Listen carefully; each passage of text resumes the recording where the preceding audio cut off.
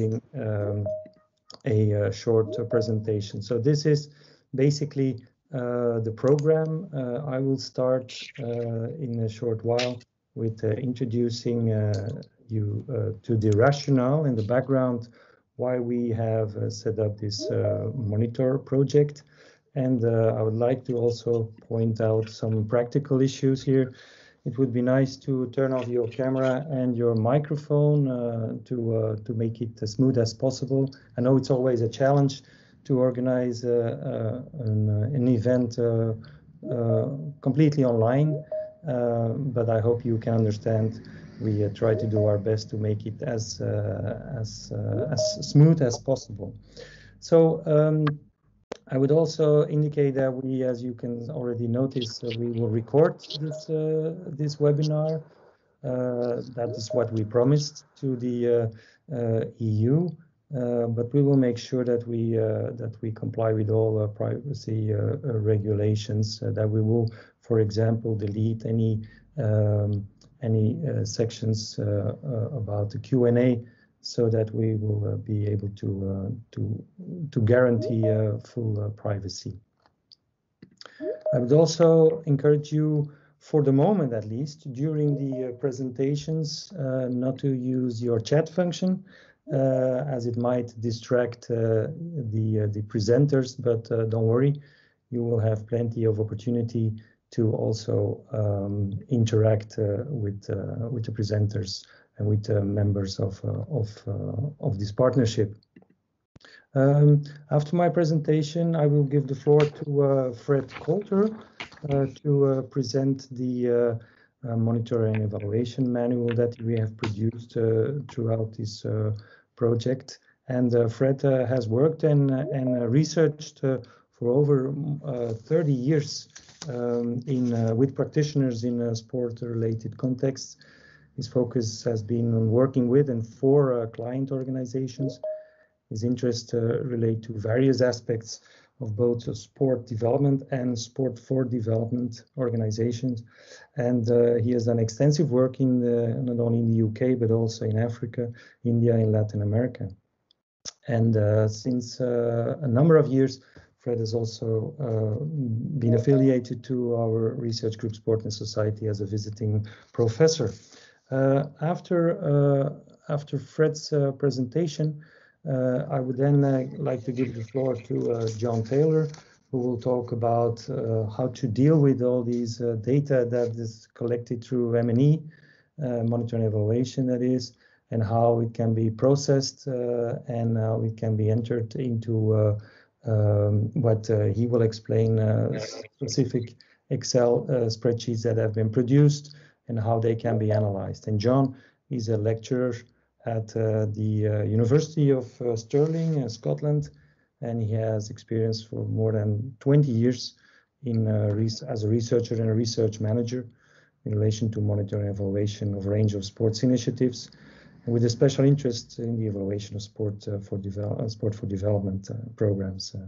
Um, so he he will then be sharing this information just in a while.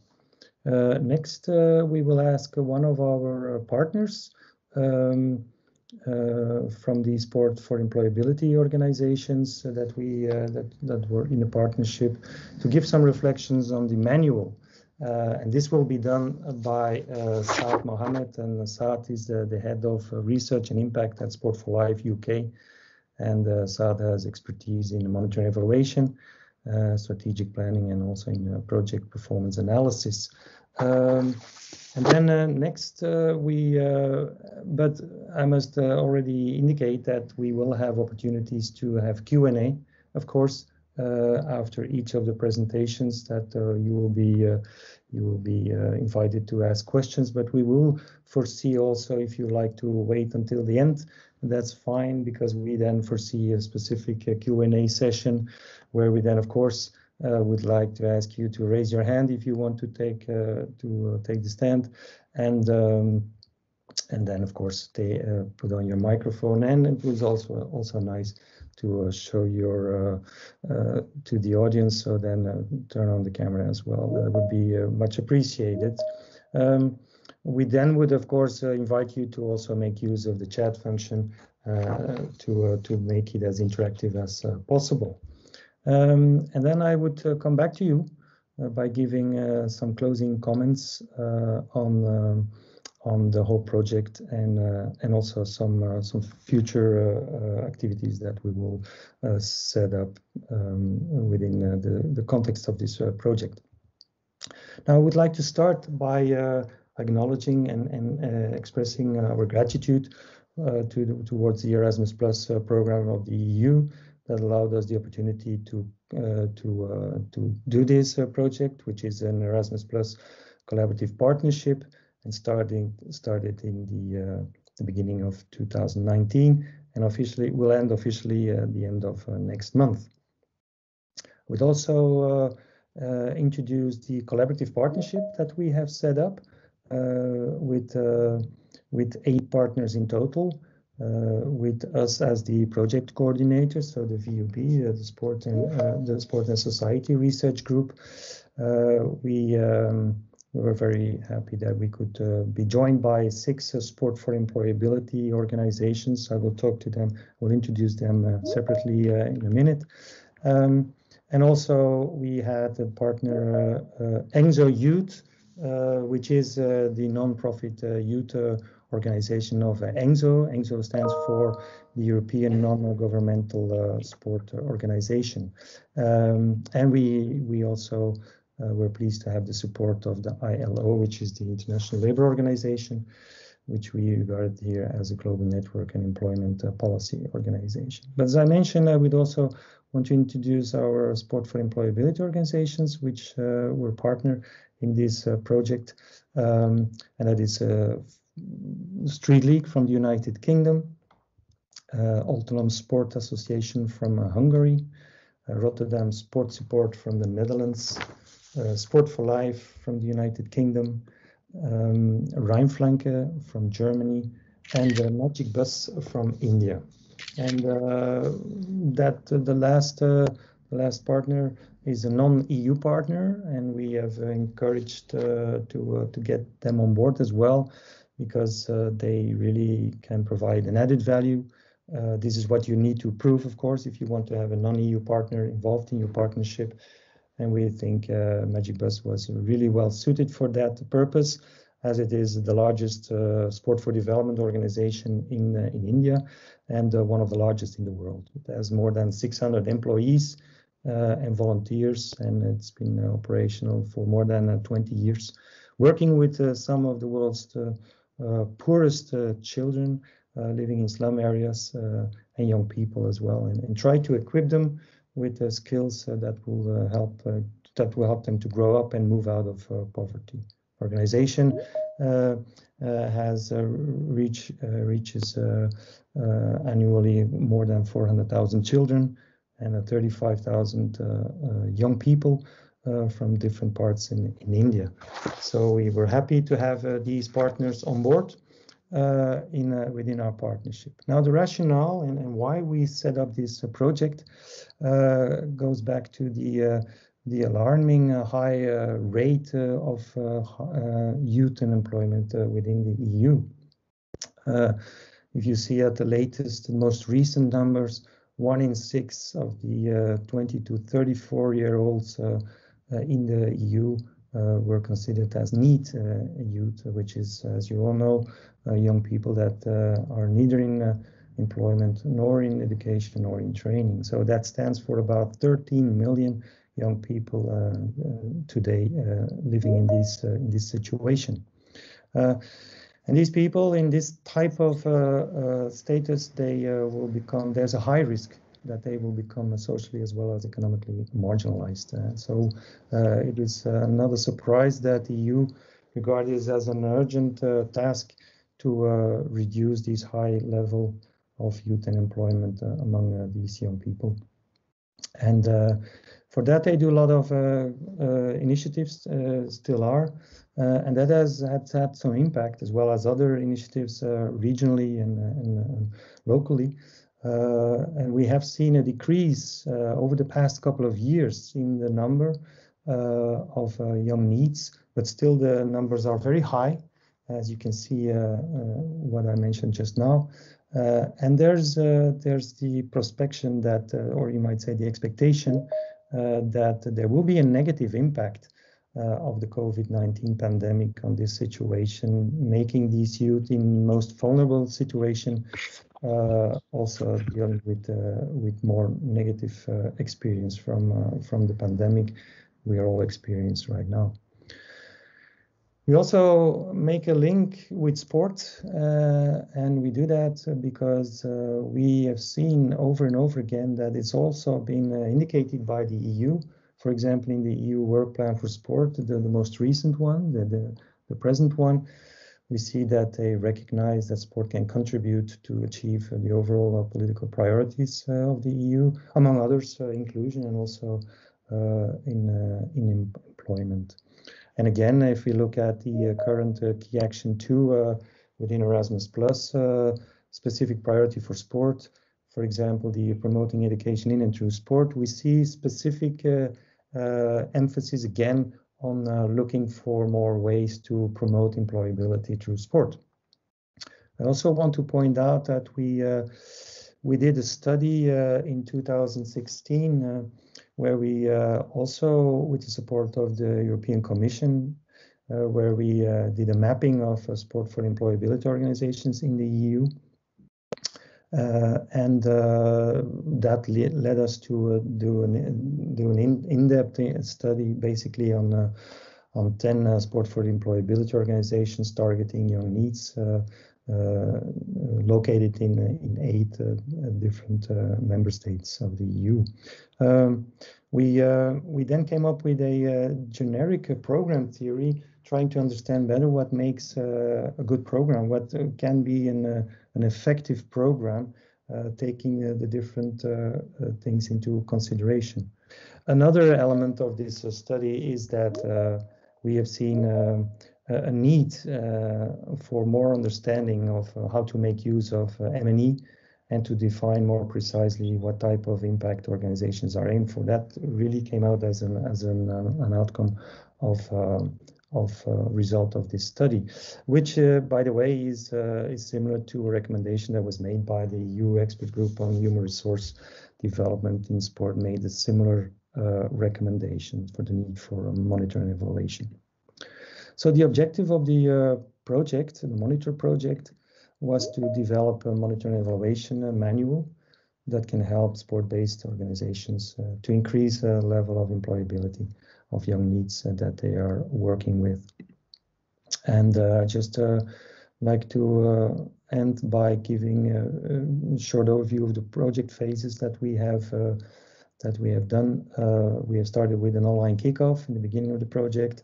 We then uh, have uh, conducted a literature review on relevant sources. We did uh, several uh, interactive uh, workshops uh, and study visits uh, to the different partner sport for employability organizations.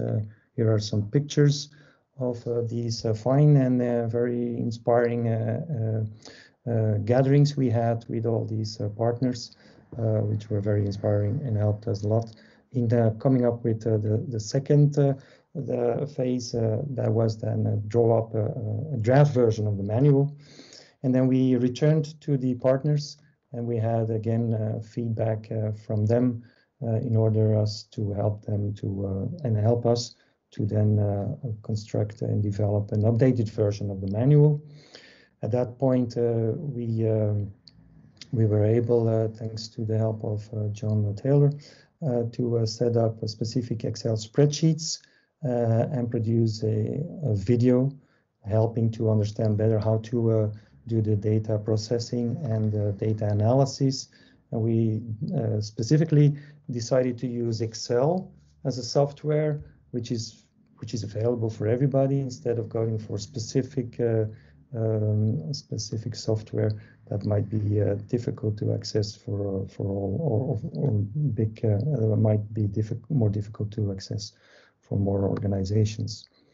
Uh, and then, uh, as we all know, uh, COVID-19 appeared, which had an impact not only on the work of the organizations, which they are still struggling with at the moment. As you all know, which is the case for many other uh, situations. Uh, it also had an effect on our timing, uh, which that has, has caused a delay in in the different time in the different phases we were planning to do. Um, uh, fortunately, the agency provided us the opportunity to uh, to extend uh, our project because it would have been would have finished at the end of last year, so 2020, but it allowed us to have an extension for six months. So at the end of next month, we still we can continue until that time to finalize, and that was good because it also allowed us, although in difficult situation, in difficult circumstances, to also uh, work. so we had to go to the online uh, era where we had the communications uh, like we have today.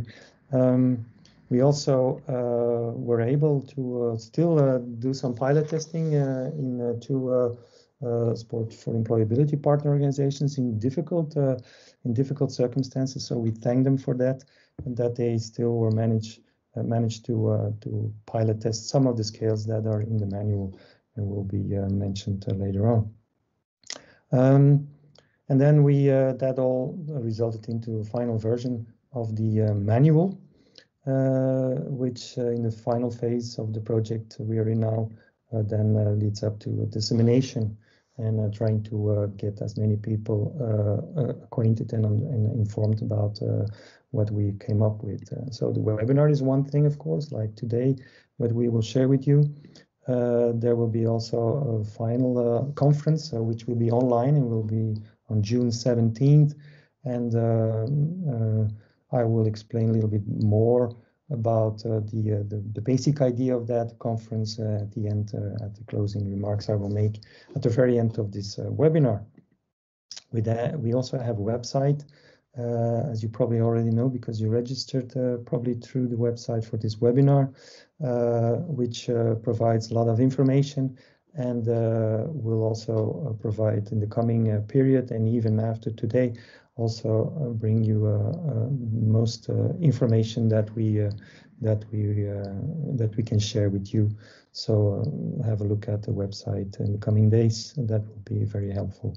Um, and also we make use active use of social media uh, to uh, to make dissemination uh, uh as uh, as optimal as possible.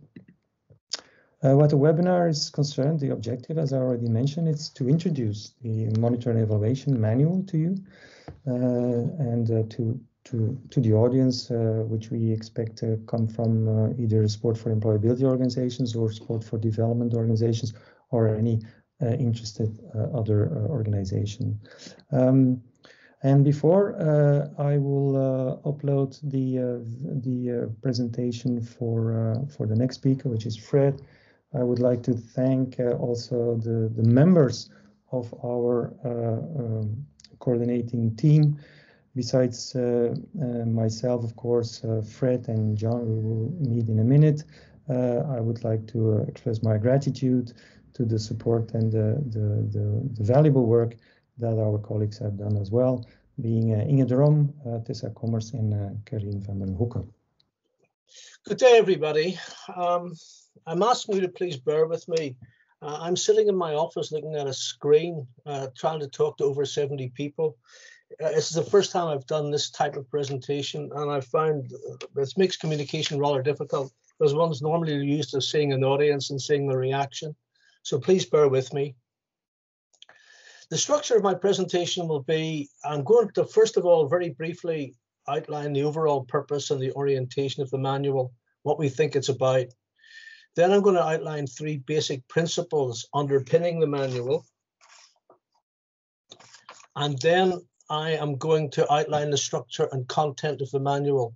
Although this is inevitably going to be quite descriptive, I'm also going to highlight selected theoretical issues as I go through. Okay? Now, the overall purpose of the manual was to provide a framework to support organizations to develop a theory of change for their programs, to understand and explain how and why the program a program will achieve its desired outcomes. It's also to assist organizations to better understand the nature and measurement of the desired relevant outcomes associated with the rather vague and ill-defined notion of employability. So, and it's also to provide guidance for establishing and implementing a framework for the monitoring and evaluation and assistance in analyzing the data. As Marcus said, we provide Excel spreadsheets to allow you to analyze the data. Who is the manual for? Well, first of all, it's for existing programs to enable them to critically evaluate and to critically evaluate the, the program and undertake informed monitoring and evaluation. And during the pilot phase, this was illustrated by Saad Mohammed of Sport for uh, Life, who was speaking later on. He said that the manual, he said the, the manual illustrated we don't know what we don't know. And he said the use of the manual broadened our horizons. So we think for existing programs that allows them to think critically about what they do and adopt a more informed version uh, uh, approach to defining outcomes and measuring outcomes. But we also think that the manual provides a framework for those seeking to develop sport for employability programs. And you'll see as I work through it how that how that will um, work. We also think that the manual would be useful for induction of new staff to programs because it, develop, uh, it, it develops a theory of change approach. It develops a, a, deeper understanding of the program and could be used for induction purposes. The first principle uh, is that monitoring and evaluation should be based on a theory of change. We want to move beyond the standard logic model and outcome measurement approach. Most reviews of research in sport for development point to the absence of theories of change. We get logic models which illustrate inputs, outputs, and measure outcomes and sometimes measure impacts. But what we have in the, the, standard logic model is unexplained causal arrows. Why do those outputs lead to those outcomes? And why do those outcomes lead to those impacts? So what we say that we need a theory of change to explain how and why a desired change is expected to happen in a particular context. Uh, we say that a theory of change systematically identifies the assumptions underpinning a program. Why do you provide particular activities, and what what are their supposed what what are the associated outcomes of those activities, and why are those outcomes associated with those activities? And the theory of change maps out the program activities and outputs, their nature, and how and why they lead to desired uh, intermediate and final outcomes how, how do they lead to something which you have defined as employability? So a theory of change allows us to ask these very fundamental questions. Now, we know that in many uh, small organizations, there is a reluctance to undertake M&E because they think it's just about accountability. But we argue that mon monitoring and evaluation is developmental. It's not just about accountability. And you've already noted Saad's comments about not knowing not knowing what he needs to know. So we think that a theory of change approach leads to capacity building in organizations. A theory of the development of a theory of change is a collective exercise. So as the team develops this theory of change, it leads to greater ownership, common understanding, and greater team integration. It enables organizations personnel to reflect on and analyze their attitudes, beliefs, and practices. And again, another quote from Saad. Saad said that the manual allowed them to ask better questions of ourselves. And we think that that's what the theory of change approach does. The theory of change uh, approach leads to a broad agreement uh, about understanding of assumptions about the relationship between activities and outcomes. The understanding of the relationship between activities and presumed outcomes, we argue, leads to a greater integrated and, and coherent organizational culture and associated program, a more integrated and coherent program. It also enables and improves external communication. Carol Weiss says that policymakers love stories, and a theory of change is a story, and it allows you to communicate how and why your program is effective. It also concentrates evaluation on critical factors. It identifies the critical factors of success in a program. So that's why we have uh, developed the program around a theory of change approach. The second principle is general applicability. The manual is about employability, but we believe that there's a generic relevance to all sport for development programs. And the reason we say that is the OECD's comment that most employability skills are general in nature. They're relevant for all kinds of occupations and considered necessary to provide a foundation for effective and successful participation in the social and economic life of advanced economies. In other words, uh, the employability skills are about personal development, and we believe that the manual therefore has more a more general applicability to uh, sport for development programs in general. The third principle is sport plus. We don't believe sport on its own will make a limited contribution to developing employability. Sport needs to be amended and or supported with other activities and workshops. That's a fundamental premise of the manual. So we introduced two approaches. One we call Sport Plus One. Sport Plus One is used to develop and the sport is used to develop and consolidate social and mentoring relationships. It facilitates experiential learning of a range of soft skills, teamwork, perceived self-efficacy, communication, conflict management. And we have workshops, parallel workshops dealing with employability issues. But in Sport Plus One, there is no systematic attempt to integrate, support, and reinforce the issues addressed in the workshops via the sporting practices. We have sport to develop uh, soft skills, and we have workshops to develop certain uh, other employability issues, but there is no uh, systematic integration. So we, in the manual, we propose a, a, an approach called Sport Plus Two. And we, this is based upon uh, research and theory, which says the best way to foster skill acquisition is to integrate sport and life skills instruction seamlessly rather than attempt to teach these topics separately. And in Sport Plus One, they're taught separately. In Sport, sport Plus Two, which we propose, fully integrates experiential learning through sport into the program by using the sporting activity to illustrate and reinforce the issues dealt with in the parallel life skill workshops. There's a systematic emphasis on the relevance of all program activities to the development of employability, with sports sessions designed to clearly reflect and reinforce workshop content. There is an overlap of the curriculum in the sports program and in the workshops. And the other thing is we think that this approach to experiential learning may be more suited to those who have failed in the school system and feel less confident in formal didactic workshops. So a fully integrated experiential learning program is the thing that underpins the manual. Okay, I'm now going to turn to uh, the structure and content of the manual. And as I say, some of this may be uh, slightly descriptive, but I will try to raise theoretical issues as I go through. In section one, we set out the purpose of the manual. And, this is an area which often loosely used and ill-defined concepts are used. So we provide a general introduction the terms, which are often very loosely used, outcomes, impacts, monitoring, evaluation, summative evaluation, and formative evaluation. So we set out at the very start of the manual how we're going to use terms throughout the manual, and we believe this general clarification is needed in the in this area. Section two, we define employability and the nature of outcomes. This explores issues relating to the uh, the definition of ambiguous, the ambiguous term employability. It outlines research based on employer defined components of employability.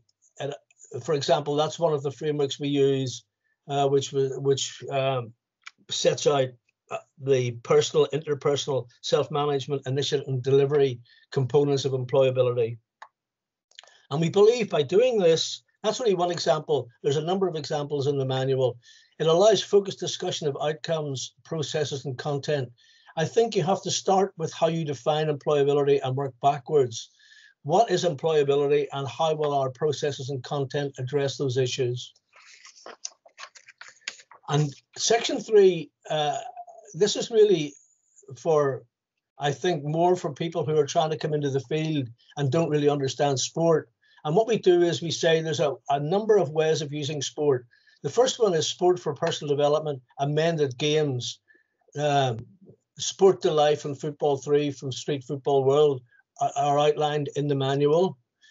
And then we uh, uh, outline plus sport, sport plus one, sport plus two. I've already explained sport plus one and sport plus two. By plus sport, we mean that sport is just simply used to attract people to a an employability or a youth work program, and sport is really just a, a, a, to an attractor. It's not used for teaching purposes, and the, the sport attracts people, and then the employability work begins. And we also outlined the importance of social climate uh, in programs building relationships based upon respect and trust. And we also use, uh, this plays a, a, major role in our manual, which is Ray Pawson's mentoring program theory. And uh, we outline this in detail. The first stage of this is befriending, which is effective, emotional, in which football is used to, uh, or sport is used to develop um, bonds of uh, respect and trust in the program. The mentee recognizes the legitimacy of other people's perspectives. Then we come to direction setting, which is cognitive. This is uh, mentors uh, promoting self-reflection via discussion of alternatives to young people. What have they thought about? What are their ambitions? There are, young people are encouraged to reconsider their values, loyalties, and ambitions. We then come to coaching. Coaching in this case is used slightly differently from the sporting term. This is uh, the men the mentor coaxes the mentee to acquire the skills and assets and credentials needed to enter the mainstream market. In some of the programs, this can be this can be uh, achieved via individual learning plans, which enables the participants to better understand how and why these goals can be achieved. So this is addressing the assets and skills that they need. And then we have sponsoring, which is positional, which is use, uh, which is using the context of the organization and its members to uh, contact the contact the young people with the job market. Many young people have difficulty accessing the job market, so the mentors sponsor and network on behalf of the the participants into the job market. And we have added one to Pawson's program theory, which is ongoing support. One of the people in the uh, in the project said to us, this is when they get a job, that's when the real learning starts. So ongoing support is essential, but ongoing support in employment is also a way of it's attractive to employers because employers then think that they're not going to be left alone with a possibly problematic employee. So the program continues in some cases up to 12 months ongoing support. So the mentoring uh, program theory uh, uh, for mentoring plays a large part in our manual and in our program theory, which I'll talk about in a minute. At the end of this, we ask, how do you choose the programs? Well, the, the, you choose the programs based on your priorities and your desired outcomes and the nature of the participants themselves and what they need. it depends on your resources. The mentoring, uh, to do the mentoring, you require people who are capable of doing the mentoring. It depends on the nature of the program you choose in Sport Plus One and Sport Plus Two. And it depends on the expertise you have in the organization. So what this section does, it outlines the range of possibilities, and then uh, it's up to you to choose which of these you adopt depending on those three criteria. Section four deals with logic models and theories of change. Uh, the logic model is a useful management accountability tool, excuse me, and it's it's used it's useful for summative evaluation, saying what you've achieved. However, there are limitations. What we do is we outline the limitation of a logic model there's unexplained and assumed causal relationships. The logic model has unexplained arrows, which the theories of change, the theory of change tries to address. What is the relationship between output and outcome? And what is the relationship between outcome, outcome and impact? Logic models tend to assume those relationships and not explain them. Uh, and a logic model starts with the means, what you do, not with ends. So it tells you what you do, but it doesn't tell you why you do it. So it doesn't deal with the quality of components or the mechanisms and experiences that lead to change. What is it about those red arrows that makes the program effective? And that's what we deal with in this section. So that's why we introduced a theory of change approach. This is beyond description, which is a logic model, and it seeks to develop explanation. It starts with desired outcomes. What is employability? And how and why do our programs address those issues, how will they lead to those desired outcomes? So it, it forces you to under outline your assumptions and question your assumptions. And it also asks you to address the mechanism of change. What is it about your activities that will lead young people to develop, to change their attitudes, develop skills? How will they do that? Excuse me. Section five is an outline of how to develop a theory of change for sport and employability. This is a collective process of developing a theory of change. It's developmental, so each organization develops its own. Uh, so what the, the section does, it outlines the process of developing an illustrative detailed theory of change. Mark talked about the earlier project we did for the European Union. We developed a theory of change in that, and that is used here. I'm not going to work th work through it because it's too it's it, will take too long. I don't have enough time. Um, and but we have published an academic article in the International Journal of Sport Policy and Politics where the the academic and theoretical aspects of this are dealt with in more detail than they are in the manual. The manual offers a more practical uh, illustration of a, a an illustrative de detailed theory of change and also in the section, we provide two types of graphical presentation for theory of change to allow you to communicate with potential clients, potential sponsors and funders.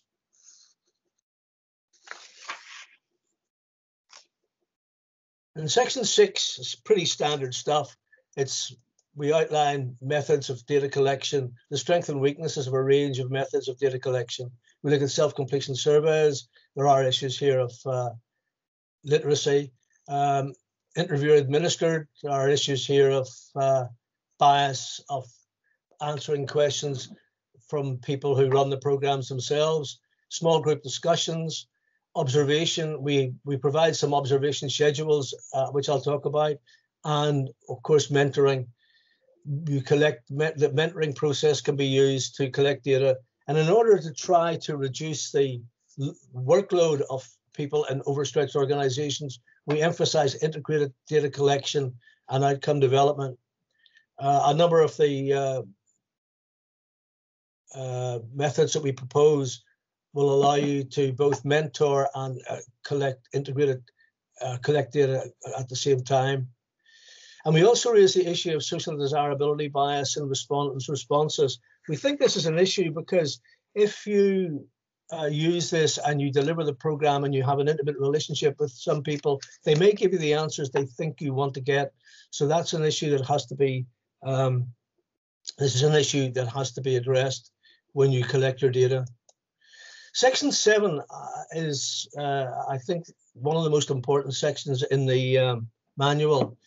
What it does, it lists uh, nine separate scales, measurement scales, perceived self-efficacy, locus of control, work locus of control, the outcome star and goal setting, uh, self-esteem, resilience, teamwork, decision-making, and social skills.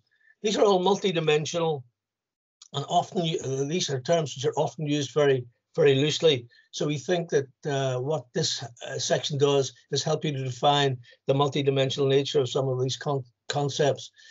We use validated scales, non-validated scales, and, and we provide some observation schedules. All these are used with permission, and the permissions are noted in the manual. As part of the section of this section, we define the meaning and relevance of each one of these uh, measurements to employability but we, what we also do is we outline the program processes, develop and improve them. And the argument would be that if your program doesn't contain these processes, you shouldn't use this measurement because your program isn't designed to develop those measurements. So what we do in this section is we outline program processes which theoretically and research uh, proves are related to these outcomes. And we also provide uh, how to uh, a section on how to interpret the results when you get the results. So it's a very comprehensive approach to each one of these nine measurements. The choice of scales is up to you. it depends on your definition of employability. It depends on your theory of change. It depends on the program processes. Are the program processes related, for example, to develop a locus of control or the resilience? Um, and it depends on your approach to monitoring and evaluation, how you would use the validated and non-validated scales. And also in uh, each one of the scales is included in a separate appendix so they can be copied and used directly. We provide usable copies of each one of the scales in appendix one. now about the this section is non-prescriptive. It really depends on you and your processes which one of these you would choose. However, we do place an emphasis on perceived self-efficacy, and we do that for uh, two for a reason. Bandura says that people's beliefs about their capabilities to produce designated levels of performance that exercise influence over events that affect their lives. Self-efficacy beliefs determines how people feel, think, motivate themselves, and behave. Self perceived self-efficacy is fundamental to processes of learning and development. And Pajares says self-efficacy beliefs touch virtually every aspect of people's lives, whether they think productively, self-debilitatingly, pessimistically, or optimistically, how well they motivate themselves and persevere in the face of adversities, their vulnerability to stress and depression, and the life choices they make. So we believe that perceived self-efficacy is an early outcome and a mechanism. It has to be established very early in the program so people believe that they can learn. Bandura says that people only learn when they can when they believe they can learn. So programs have to uh, establish perceived self-efficacy very early on. It's an interim outcome, not a final outcome, because it acts as a mechanism for the rest of the program.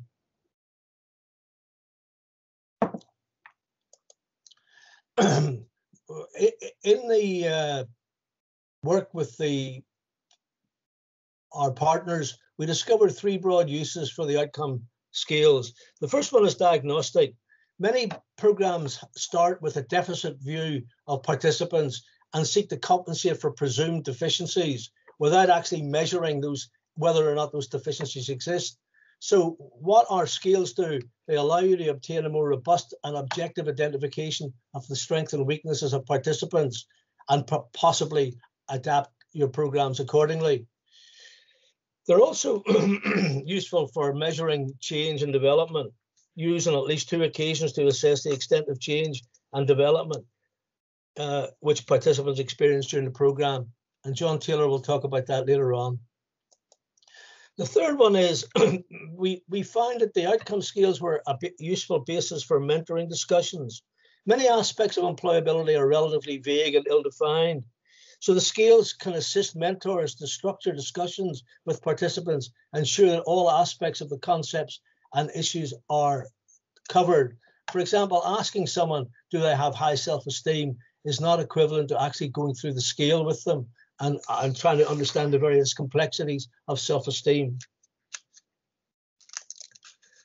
Section 8, again, is relatively standard stuff. It's social profile data and questionnaire design. It's about cross-tabulation and understanding data. We outline a, a range of social profile data, which I won't go through here. I'll just mention ethnicity and disability. We have to leave that to each individual organization because ethnicity is, in some cultures, regardless, a bit too sensitive to um, um, ask, and the data should be collected on the basis of the, the official definitions in each country. And the nature of disability is too varied to include in in our standardized questionnaire.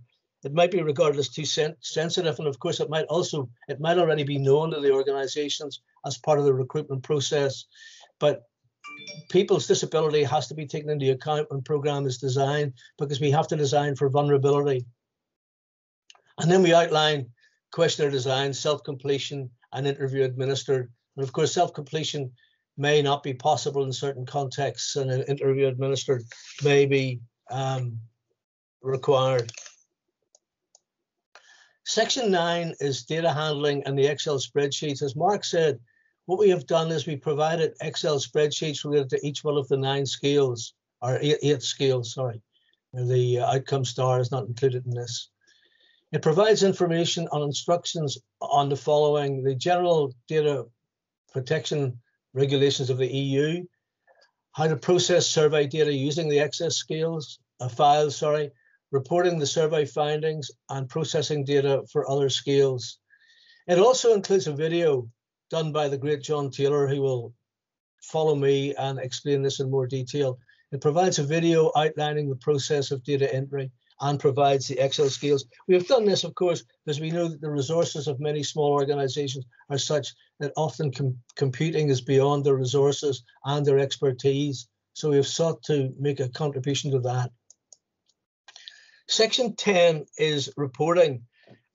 In our this, we know that many of your uh, funders will require uh, reporting in template format, but just in case we included this, um, we thought the section would assist thinking about communicating results and performance of programs. Um, the initial draft that we gave was deemed by our partners to be too academic, which seems to me to be the longest four-letter word in the English language.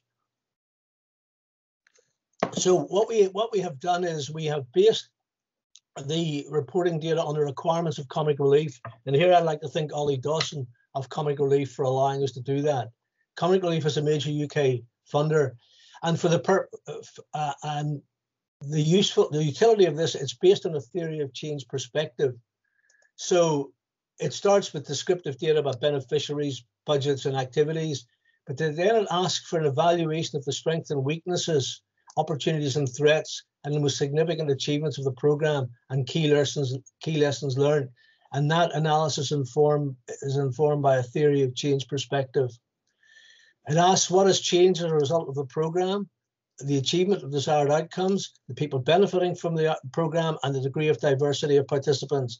And it asks for self reflection what are the lessons being learned, and how sustainable are the changes achieved? And that is all done around a theory of change perspective to inform that analysis. Right, that is my um, outline of the the manual. Do Thank you very much, Mark. Uh, thank you, Fred, as well. Um, yes, I'm John Taylor. I'm a lecturer in the Faculty of Health Sciences and Sport at the University of Stirling uh, in Scotland. And for the monitor, I've prepared some materials to help projects uh, process survey data um, to help assess the impact of the, the projects on the participants. And this has mainly be, been by way of preparing some uh, Excel spreadsheets um, so there are two, I'm going to share my screen now. Hopefully this will work well. There are two major sources of information um, that you can use um, to, to help you process the data. The first is the manual itself, and Fred has mentioned that the the, the manual has a section on it uh, called uh, data analysis, which gives you a step-by-step -step guide on how to process the survey data. Um, and there is also a video which is available on the Monitor website. So if you go onto the website, look under the, the heading M&E. Um, can I just check that you are actually uh, seeing my the the screen, Mark? Yes, we are. Yeah. We are, John. Good. So there's an M&E video tab. If you click on that, um, it will take you um, to a video that I've recorded, uh, which is about 30 minutes long, which explains the process of how to process your data. And this mimics what is in the, the actual manual, the document itself. Um, so you can watch the video. I've also given you uh, a content of the video. So if there's specific uh, sections of the video that you want to, to look at, you can get straight to them by going to the specific time. And also on this page, um, the various Excel spreadsheets that have been designed are available for you. So you select the scales that you want. You can copy those from the manual, put them in your questionnaires, and then when it comes to the time to process the data, you can come onto the website, the Monitor website, and select the relevant Excel spreadsheet for processing your data. Um, what I'm going to do um, today is give you an overview on processing that data so that you have a bit of an idea um, how this is actually done.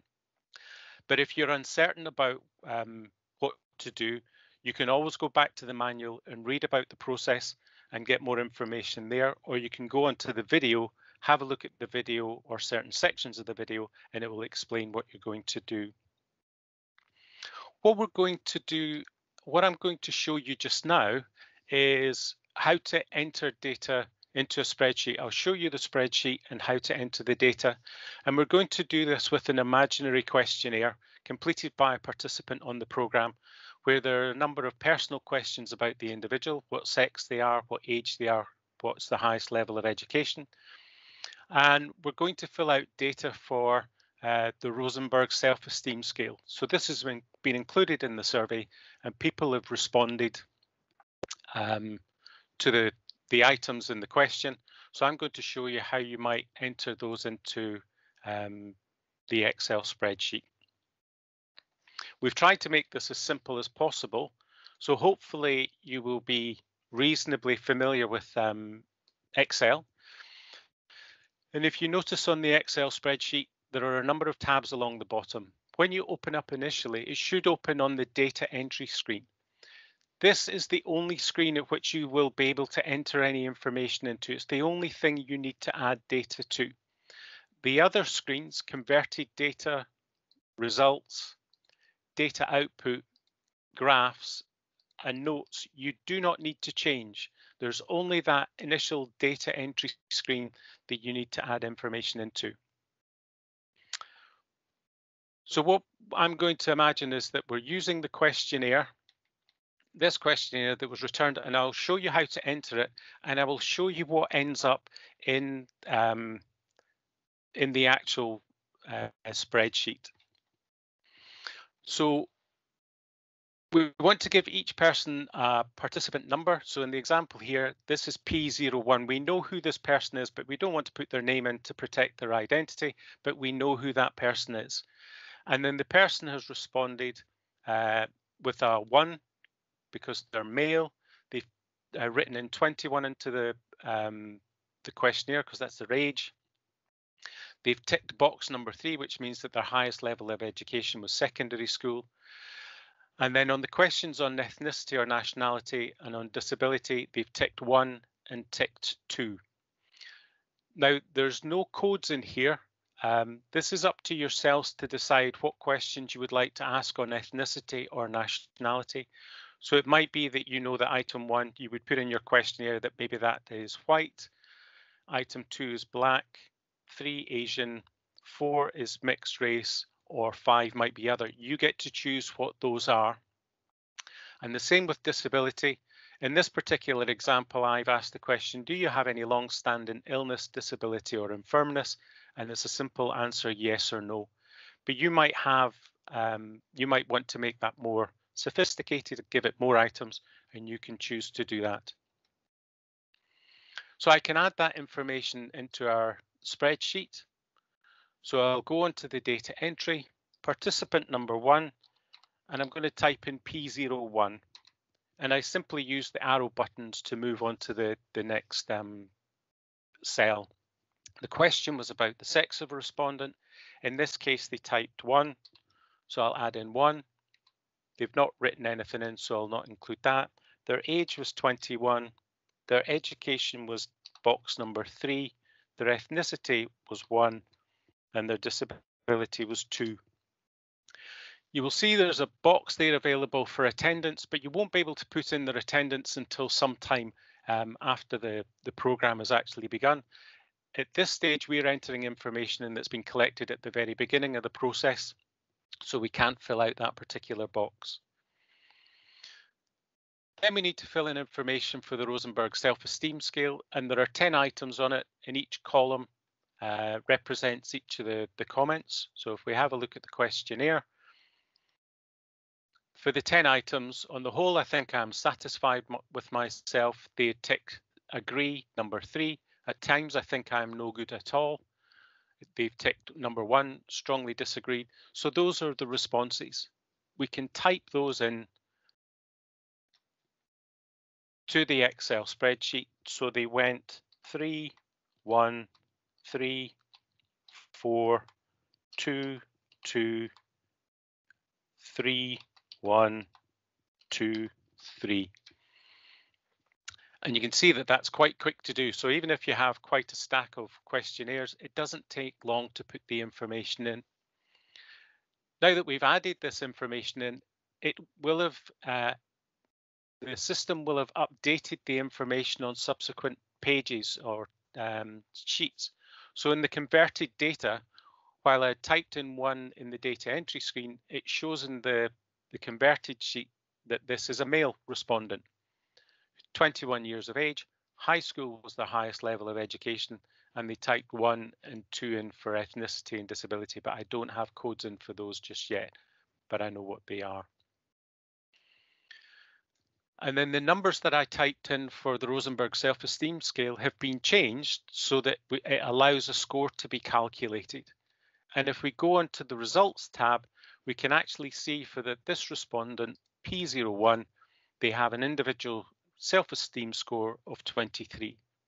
Now the Rosenberg self-esteem score uh, runs from zero up to 30 um, and scores between 15 and 25 are considered as normal. So in this particular case, um, this individual has a self-esteem score of 23, which is considered normal. If we go to the data output, this is where you will get uh, your aggregated data from all the, the questionnaires. But because we've only got one entered in just now, we can see that there was one male, oh, that's 100% of the whole sample. But the more we add in, the more this will change. And we can see information on the, the age.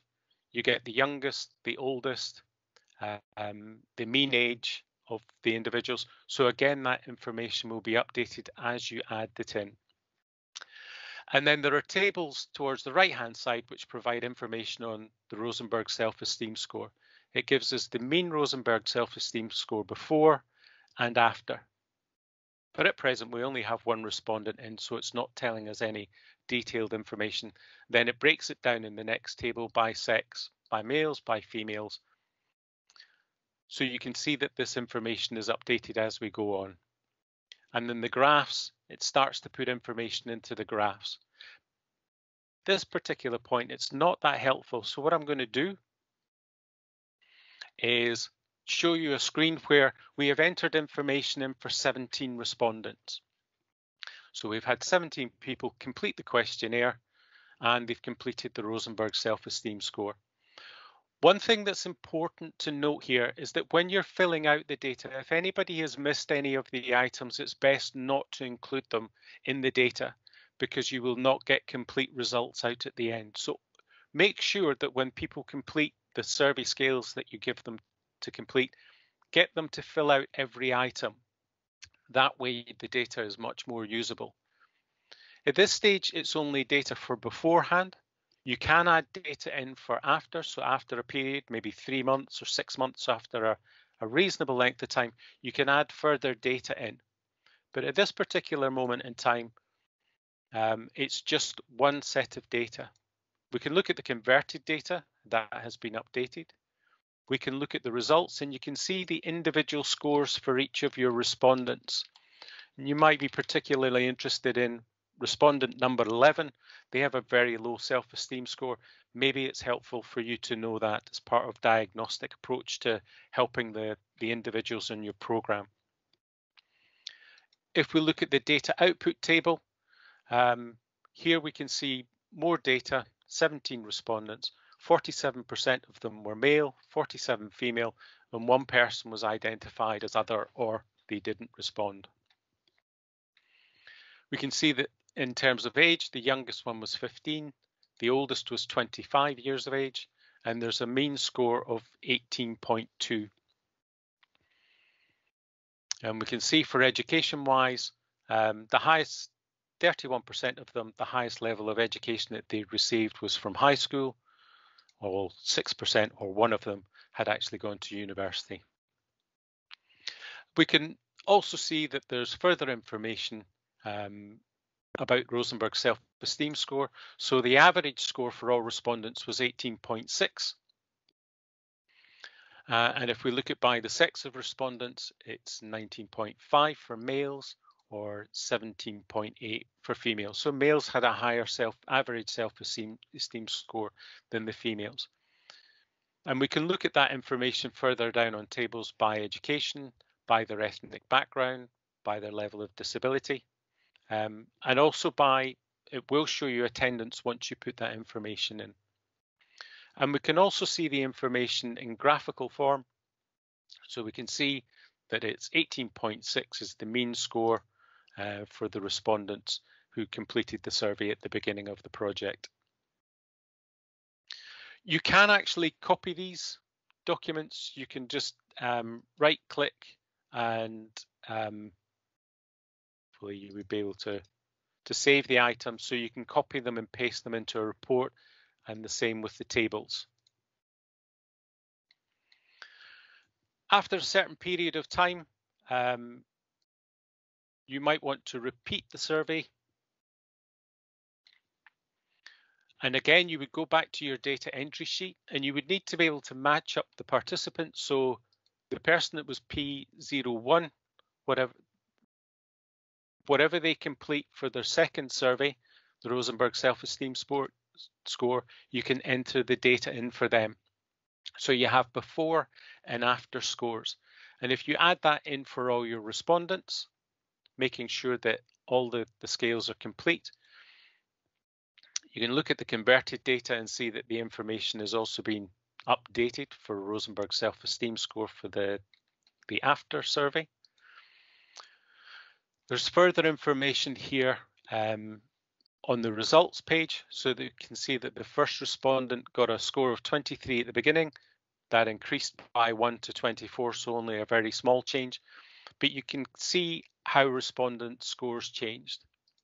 P06, for example, there was an increase in three points on the self-esteem score. If we go to the data output now, we have all the information that's entered in um, for both the before and after survey. So if we look at all the survey respondents, it was 18.6 mean Rosenberg self-esteem score at the beginning of the project and at the, the after survey it was 19.5. So there was an increase in 0.08. Um, that's a rounded figure between the, the two survey points.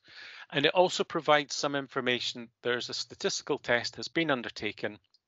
The p-value was found to be 0.044, which is statistically significant. So there is a statistically significant change in the self-esteem scores for all respondents on this particular project.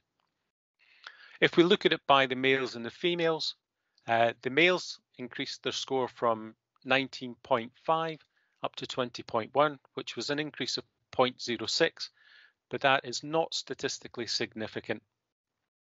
But for the females, their self-esteem score increased from 17.8 to 19.0, which was a 1.3 uh, increase. And that was deemed to be statistically significant.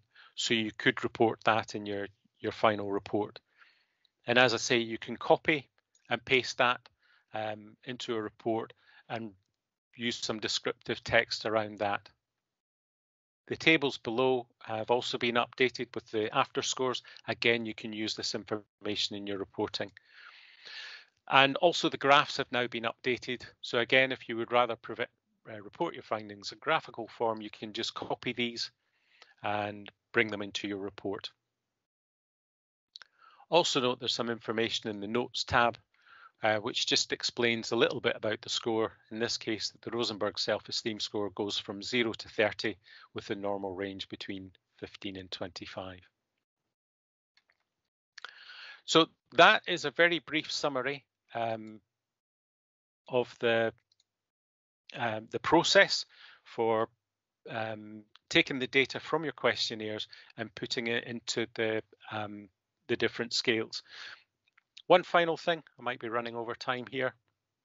One final thing, um, there are obviously different scales, um, different spreadsheets for different scales. This one here is the resilience scale. And if I just show you in the data output section, for example, some of the scales give you more than one set of results. So for the resilience scale, there's a total resilience score, so that will be put in these tables here but it also breaks that data down into two other subscales. So this one is personal resilience. So you'll get an extra set of scores there for personal resilience. And there are further tables which will show information on re relational resilience. So be aware that the scales sometimes produce more than one set of data. It's not just a total score, they might have subscales as well. So hopefully that gives you an overview of what's required. Some of you will be very familiar with processing data in NoExcel and might be able to do that without much further explanation. But if you need any more information on what to do, go to the manual, section 9. It gives a step-by-step -step guide on how to do what I've just shown you. And it also has images there to show you what it looks like on screen. Or go to the video and you can listen to me again in the longer form, just explaining how that all works. Um, if that is not enough to help you, um, I am available if you need to get in contact with me. Uh, Mark and um, uh, Fred have asked if I'd be available to provide some guidance should it be needed. You can contact me. I'm sure you'll get contact details, but it's john.taylor at stir.ac.uk and I will try and help you out if you need it. There we go, Mark. Thank you very much, John. Um, as always, uh, uh, very cooperative and uh, very clear on the on the on the work that you've done. Uh, so again, yes, uh, thank you for that, and uh, we give the the everybody the opportunity to make full use of of the tools that have been constructed. So um, I don't know whether there are at this point any specific questions uh, relating the, the, the presentation uh, John has given? Um, if not, uh, I'm just looking around. I don't see any hands. So thank you, John. Um, thank you. I would uh, like to give the floor to, uh, as I mentioned before, to one of uh, the partners, one of the Sport for Employability organizations that have been part of, of our collaborative partnership. Uh, to give some short uh, uh, feedback or, or comments on, on and the response on how they experienced this this project, but more importantly also how they look at the the manual that we have produced. So uh, Saad, Mohammed, uh, as I mentioned before, is the head of uh, research and impact at Sport for Life UK. Um, Saad, I know you're there. great. Uh, so I give the floor to you to uh, to just uh, give give some feedback from from a practitioner's point of view. Okay, thanks, Mark. Um, appreciate the um, the chance to get to speak. Um, and so, good morning and afternoon to everyone. So, um, just a bit about about about our experience on the on the project, really, to begin with. Um, we've um, I, I, think there, there's a, a couple of workshops. I think with um, sort of you know with the with the folks that are leading the project. And um, and I think just from from that point of view itself it was just a good way to sort of showcase what we do but also to have um, some critical questions asked about um, about what we do um, in terms of our sort of monitoring and evaluation data collection why we do what we do etc so even from the in from the outset it's been quite a useful experience for us. Um, I think one of our values as an organization is that we're we're progressive so we're constantly sort of looking to do better in terms of uh, sort of especially in terms of our delivery but also in terms of our monitoring and evaluation and impact. And and i think this this project specifically uh, i think helped us to just you know take that internal look in terms of what we do. I think um, fred um, sort of quoted us saying we don't know what we don't know and I think being sort of a small, medium-sized um, organisation, I think we sometimes are at the um, so we're looking at those with better expertise than ourselves to um, you know to sometimes sort of guide and support the the kind of work that we do, and that's really been helpful throughout this this project. Um, in terms of the manual itself, um, I think it really helped our um, our operations manager, but also our delivery team and and colleagues to actually um, again just you know do a bit of a sense check in terms of what we deliver. Do we you know what what what are our outcomes and what we um, you know what what impact are we um, sort of looking to get? Um, as an organization we're very much focused around employability and um, a particular set of life skills um, that we measure. So and, and, i think something academic and, and, a manual like this actually helps us to sort of broaden what we're actually what we're actually measuring what we're actually looking at and I think that that's been particularly useful just initially as a way of um, just reviewing some of our reviewing some of our outcomes and indicators and outputs that we that we have on our on our employability programs. Um, and, and and I think sort of following on from that, we had the opportunity to pilot a couple of the scales. So we we went with the brief resilience scale and the work locus of control, two scales that um, we picked because we thought you know sort of resilience isn't something that we probably directly measure within our life skills, and work locus of control just because we wanted to you know see you know you know you know what our young people think about sort of um, about their future prospects and whether they're sort of you know internally or externally um, controlled. And, um, um, and I think it was relatively straightforward. So we have we have a team of five mentors that work on our employability program, and we asked a couple, you know, each of them to um, sort of carry out these scales with at least two young people on our um, on our service, and, um, and and they they each found it so quite a quite a good experience just from the point of view that it was quite easy to do but also it sort of brought around some conversations with young people um, around things that we sort of previously maybe didn't talk about directly.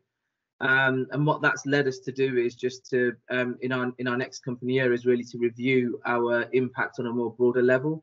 So looking at um, sort of looking at more than just our life skills and our employability skills, but sort of broadening, um, sort of looking, having a broader look at what our impact is. So things that we sort of directly or even indirectly, um, you know, um, sort of indirectly um, sort of impact. So some of those intended and unintended consequences that we have. Um, and I think especially things around, um, you know, creating trusting relationships with mentors, which is something that we maybe take for granted, but actually sort of measuring that. And also sort of things around sort of resilience and that work locus of control, especially at a time where so we're coming out of a pandemic and we're and young people that there is that sort of um, element of disillusionment amongst young people and especially across the UK and, and I'm sure this is the case for um, sort of wider across Europe and beyond that young people are disproportionately affected by um, by unemployment compared to the rest of the population. And so specifically within that young people within those young people is also um, people from um, sort of diverse backgrounds so ethnic minorities uh, which make up a, a, large percentage of our population. So actually having these tools at our disposal, so you know, may prove to be sort of you know quite good moving into the future. Um, we haven't sort of committed to sort of using any of the tools, but it's but it's something that's now available for mentors should they feel they you know they need those tools to you know support our young people and sort of get that extra information and uh, and I think something Fred mentioned um, a bit earlier around using it for induction purposes again is sort of is quite a poignant um, sort of point. Again, it's not something that we we'd considered, but it's it, you know it's a bit of a light bulb moment in terms of really simplifying um, academic language so that um, so that sort of mentors or, or sort of uh, trainers can actually understand that, but also then relay that to young people in terms of you know you know what you know what we're looking to achieve. So again, that's something I think we can we'll, we'll probably sort of consider going forward is actually using some of that for um, induction purposes too. Um, I think then overall it's been sort of a really positive experience. I know that our operations managers really sort of benefited from um, sort of how this has helped to um, how, how this has helped in terms of our program design and delivery, but it's also given us that we've been able to look inwardly in terms of what we deliver and actually um, you, you know, what, what actual impact that we're having um, but also sort of moving forwards is you know how can we broaden that and how can we do better for our young people? And that's ultimately what what we're about and and and, and all the organizations that have taken part in the project. It's really all about what's what's the best thing that we can do for our young people in in order to have you know uh, the biggest and most meaningful impact. And as an aside as well i guess it's it's not the main thing but also we, you know you, we need to be able to and it's the way of the world that you need to be able to um, evidence the impact that you have with the young people and, and something like this um, does support that especially at a time where moving young people into employability em, employment is slightly more tougher now because of the sort of uh, sort of because of the pandemic. But actually being able to showcase that you know th- you know these are elements of employability that we have improved. So you can look at um, resilience self-esteem.